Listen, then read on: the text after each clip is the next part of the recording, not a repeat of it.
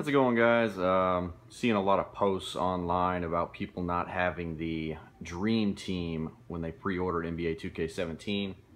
Um, just let everybody know I did get an update first or second day. The game was out, and there they are, right there next to 76ers and current Dream Team. So, yeah, there they are. Um,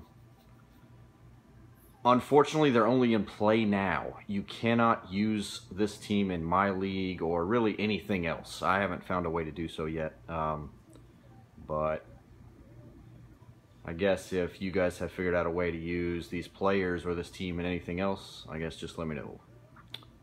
And that's it. Thanks.